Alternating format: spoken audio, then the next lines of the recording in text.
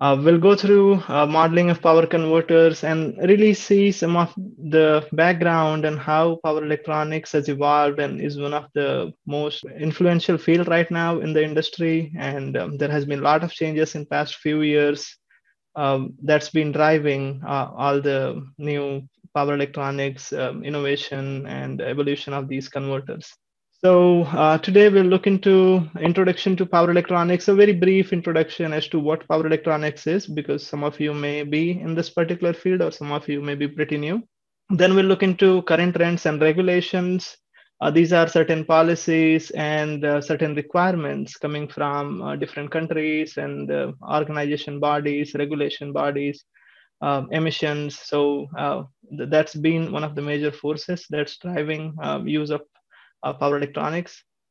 And we'll look into some of the key industrial applications right now in the market and what um, uh, is the main focus, even though there are probably more than 10 applications um, right now, but uh, there are a couple of um, hot areas where uh, there's more uh, focus in next few years. And we'll look into power electronics market as such, just to show you some numbers on how um, uh, it's going to be improving and then how there has been a different focus uh, depending upon different countries. And uh, we'll look into some of the key technical details on what are the advances in technology. And then uh, the most important one would be after going through all of this what's really required to uh, achieve a career path in power electronics and uh, what are certain skills um, that you need and what are the typical job roles that's available in the industry so yeah, let's dive into uh, the basic of power electronics. As you can see here, uh, yeah, I me bring up a pointer. Power electronics is really a power conversion uh, strategy where we are looking to control um, the flow of current or regulate a voltage between a source and a load. So uh, we got a source which could be, for example, a battery, and we are looking to drive a load which could be a motor and power electronics is needed in between that because we want to convert that energy from either AC to DC or, or there are different other conversion methods that we need to do. The most uh, beneficial method and, and why we need to do it uh, is basically to optimize the efficiency. If you look into some of the conventional IC engines and, and some of other uh, technologies that's used on the vehicles now, um, the efficiency is pretty poor. And that's where power uh, converters are evolving and, and their efficiency is pretty high. So with a power converter, uh, it's possible to do a bidirectional flow. That is, uh, you could do a motoring mode uh, if considering an electric vehicle example, and you could also feed the power back into the battery uh, which for now is, kind of wasted into the brakes um, on a conventional uh, vehicle. So you would have that recharging of the battery. What we are looking to do with power electronics is to achieve maximum efficiency, and it's possible to achieve about 97 to 98% of efficiency using the power converters. The reliability of these converters is pretty high, uh, given that the reliability of electronics and, and these items are uh, pretty high considering the design choices that's made. And uh, with the design and packaging, the cost could be reduced. So that's where we are looking to get basically a minimum cost. And the major important factor which differentiates every competitor is really uh, the packaging dimensions and weight. So if you can fit in a certain power, kilowatt of power into that dimension or volume, uh, that's a major differentiator. So we'll look into some of the competitors in, in the coming slides and see what uh, they have in common and how they are different. Looking into different power converters, um, as I mentioned, that's the major uh, device which is responsible for converting the energy. So we've got DC to DC converters. Um, these are majorly converting the high voltage DC uh, of one farm into another um, some of the examples are the boost converter. These are very conventional converters. There has been some um, new improvements in the field as well, but I'm just trying to show here the basic ones so you'd, you'd be familiar. Uh, boost converter um, is basically um, trying to step up the voltage, similar to a transformer, uh, you could say, but it eliminates all those transformers and windings and everything. So you got just electronics trying to step up the voltage. Uh, with the boost converter here, we are looking to step down uh, there are certain applications where you need to do both. So that's where a buck boost topology is used. in a flyback converter, this is specifically for isolated applications where we need an isolated ground and isolated supply. Um, there are certain applications like fuel cell and certain battery applications where we need it. So that's where a flyback converter is used uh, to, to be able to achieve that. And then we got DC to AC or AC to DC converters. So these are um, really inverters right, right now inverter is not only doing a DC to AC, it can do an AC to DC as well. So kind of a rectification and inversion. So those are the modern inverters. Um, they, are, they are called bidirectional inverters. And we have also got AC to AC converters. So these are basically converting an AC input into another form of AC output, which could be with a varying amplitude on the voltage, or it could be a varying frequency. For example, if we are looking to drive a certain type of uh, motor, uh, but our AC source is 50 hertz or 60 hertz, uh, we need to be able to drive the machine at different speeds and able to control its frequency. So that's where that's where we are looking to uh, change uh, the frequency, but uh, have the same amplitude. So that's where the cycloconverters could be used. Uh, that's very quick uh, intro into the power electronics. And next we'll look into some of the current trends and regulations. Most of you might have heard about silicon carbide and gallium nitride. So these are very hot terms and things that and some of the technology that's been uh, one of the focus for next few years in the field this has been relatively matured, but there's also a lot of uh, maturity in the technology that's needed. So, with silicon carbide and gallium nitride, it has been possible to achieve certain um, voltage or current characteristics. All of the power electronic devices, these are being used on microgrid or high voltage DC transmission, high voltage AC transmission, onto energy storage in electric vehicles, and, and several other applications here. Uh, some of the major ones being the microgrid, um, electric vehicles applications, and renewable energy, which includes the uh, photovoltaic or solar, uh, and um, also the wind. And HVDC energy transfer is something that's new, which is uh, being uh, explored. Uh, because you probably know that the conventional energy uh, flows through the high voltage AC. You probably saw those transmission lines um, around they they all carry AC, um, and then we need to convert it to DC to use with certain applications. And and the idea is that what if we uh, directly transfer the high voltage DC? So there are certain challenges, but it's also useful if we could do it. So there has been a lot of focus and effort in in, in that area.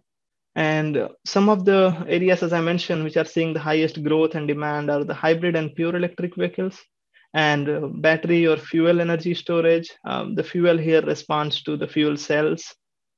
And uh, some of the data center applications, uh, which also use uh, these energy storage uh, combined with, with these battery or fuel cells.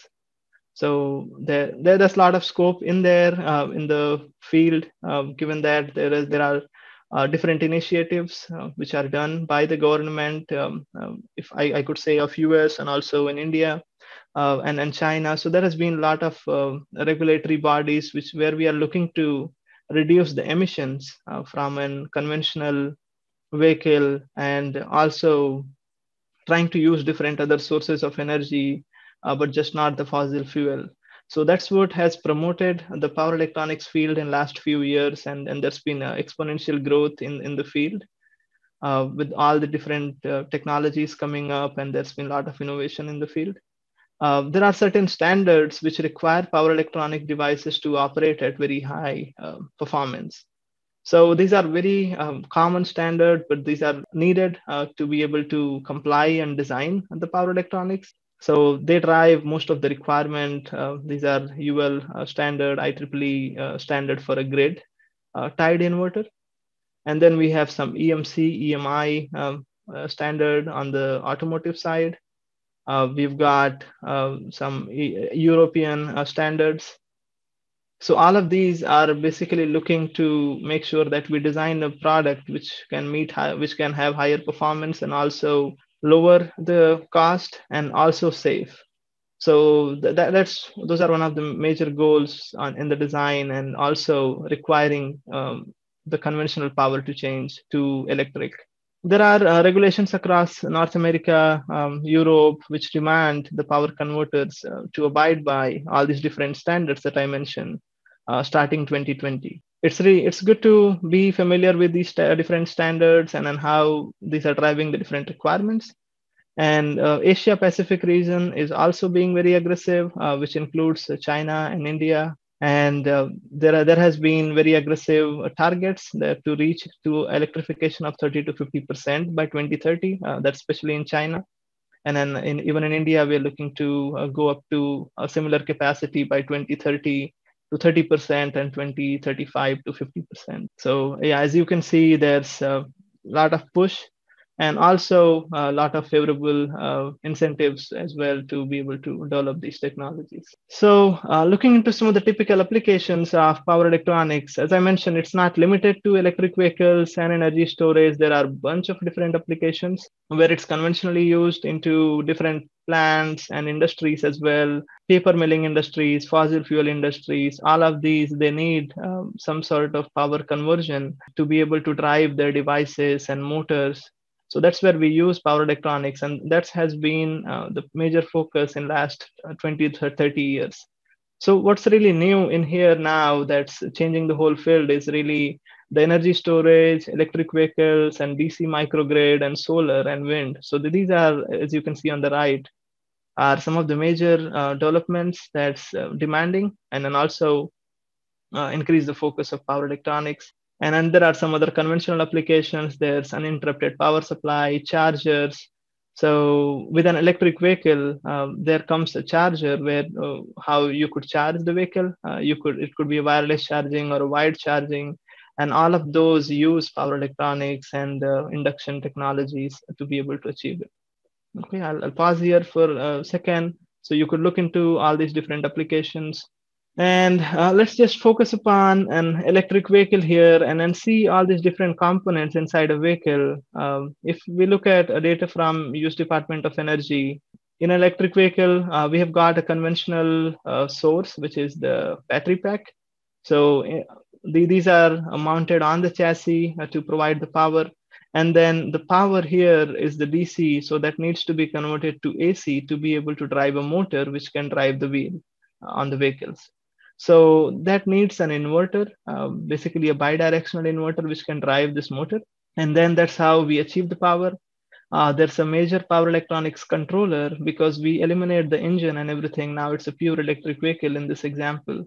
So the controller design has to is very uh, sophisticated. It's driven by a lot of uh, requirements to be safe, and uh, so it's, it's another uh, field within the power electronics where uh, the controls design and firmware all of that is, is very uh, important and that's uh, one of the job roles that's available. Then uh, we got certain dc to dc converters inside the vehicle uh, which are responsible to run different fans and compressors and an ac so all those different functions to be achieved by using power electronics and Another uh, major one that I ch- mentioned is the charger. So there's also a charger application. There is an onboard charger usually uh, to be able to charge up to certain capacity. Then we got a cooling system to be able to cool all the different battery packs and also mo- motor and inverter. So those are uh, some of the typical applications um, in the electric vehicle.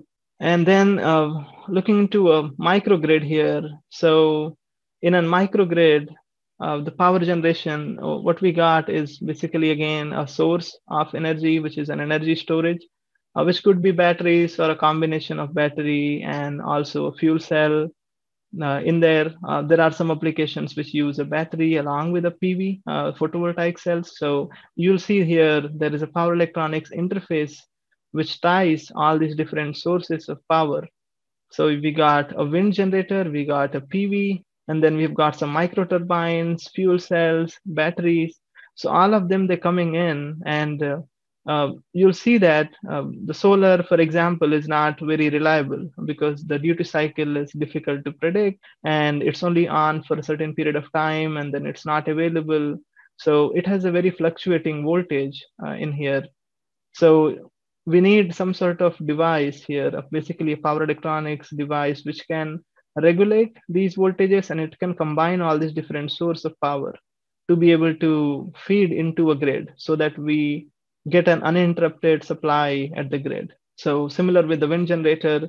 So we are looking to basically convert the DC to DC and also DC to AC and then transfer that energy into the grid.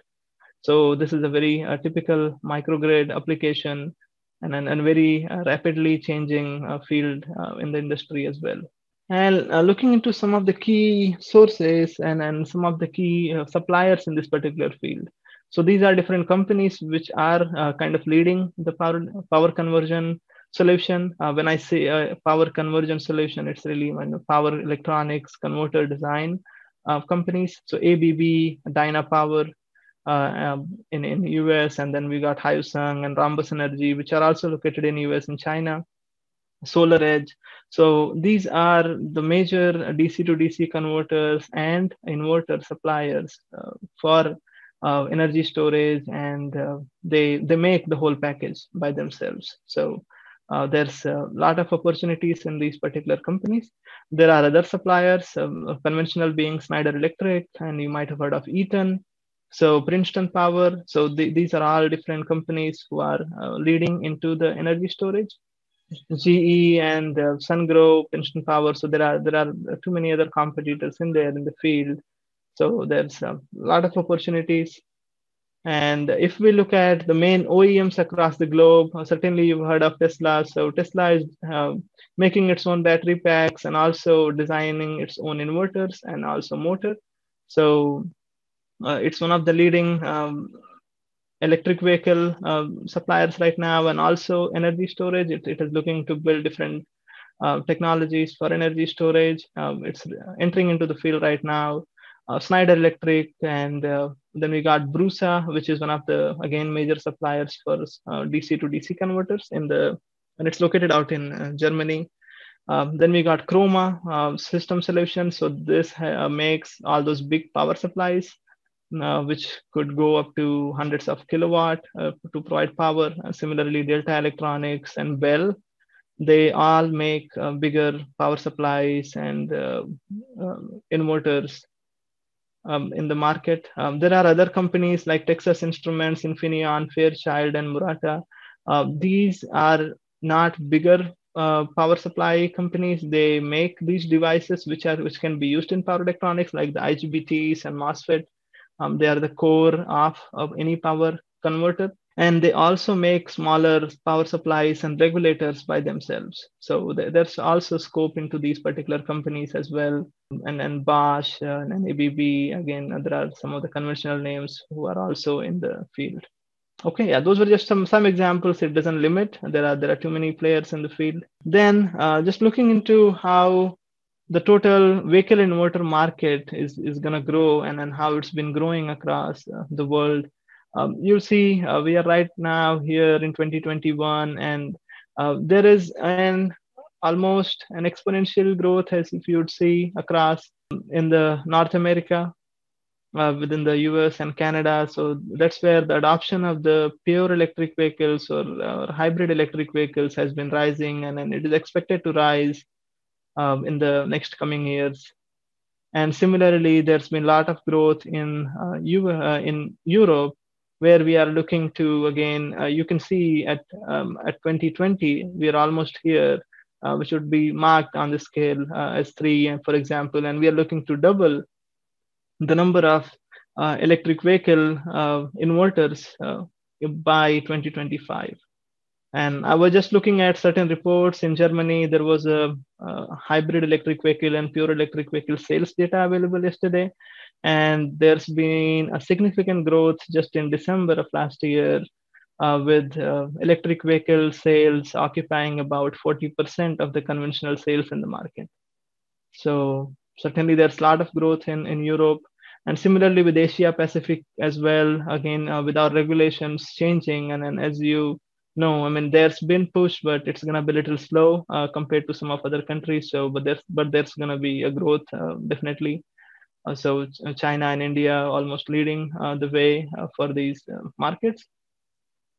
And just contrary, if we look into a solar inverter, so it, those those are two different designs. So here, in the solar inverter, um, the market of US is pretty much saturated because they have been into wind and solar for quite some time now, and there's not much growth expected.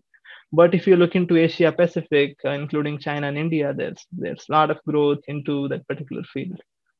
So solar inverter design and then to be able to do like energy storage with batteries and fuel cells and, and wind is, is going to be a lot of uh, area of growth and with also uh, some of other countries and rest of world just increasing a little bit in their